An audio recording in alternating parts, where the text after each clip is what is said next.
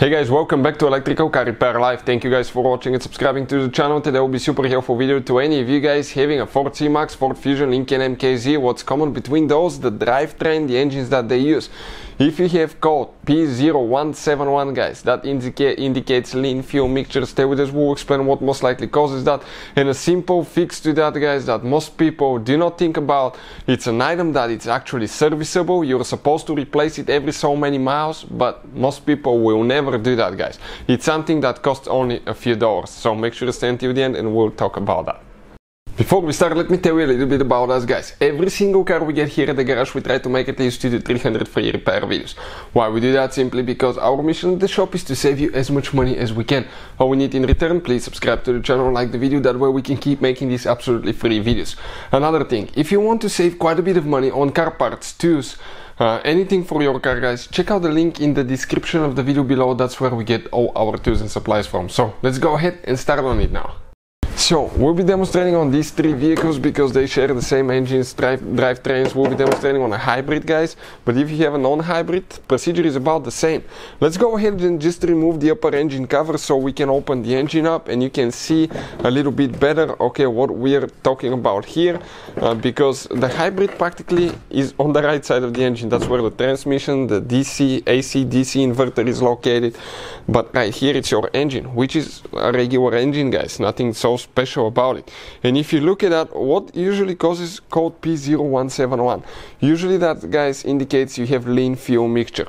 You have two oxygen sensor, but the first one right before the catalytic converter okay we're going to get the camera so I can show you guys the endoscope but it's located right here on the exhaust system, the first sensor before the catalytic converter, it's known guys as the upstream oxygen sensor, right there.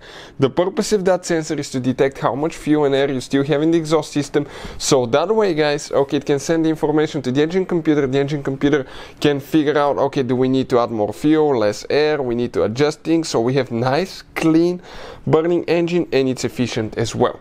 So, uh, oxygen sensor that's not reading correctly, it's very likely guys, okay, that uh, this is the reason okay why you get okay why you get that code as well. Let's turn the camera light off so we can focus. Perfect. Uh, bad oxygen sensor can easily cause that due to the fact that it's not sending the right information. This is one thing. Another thing guys uh, it could be vacuum leak because if that sensor is detecting it's stuck in lean position that means that a vacuum leak guys it means some extra air the engine is getting but it doesn't know about that air guys. And if you look right here right after the air filter box usually you have the mass airflow sensor that calculates how much air the engine is getting. And if that sensor is not working correctly guys what will happen then it may send the wrong information to the engine computer and the engine may be getting more air than it thinks it's getting and that's lean fuel mixture. Another thing it could be a loose bracket, broken intake hose, leaking uh, throttle body gasket, intake manifold gasket, all those can cause vacuum leaks. Another thing could be a bad purge control valve stuck open, um, broken vacuum line, all these things can cause vacuum leaks, guys. Vacuum leaks is extra air the engine knows, but uh, it gets, but it doesn't know about that. We have a special video about vacuum leaks. Now, right here, guys, between cylinder 2 and 3 on our engine, you have one device that's known as a PCV valve. This is a positive crankcase ventilation valve. It's uh, okay. Let me turn the light off. Let's figure it out. Oh, right there perfect. That's the valve guys. You can see this valve right here.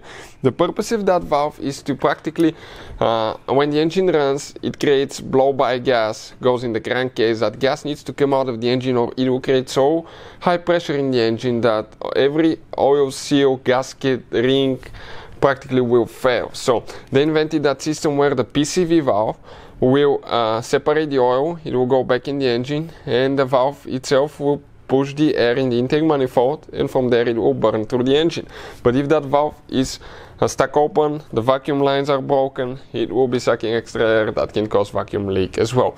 Other things that can cause P0171 could be not getting enough fuel, weak fuel pump, dirty fuel injectors, having water in the gasoline that will prevent getting fuel as well, guys and dirty fuel filter. Dirty fuel filter will have restricted amount of uh, uh, flow and it may uh, get that code as well.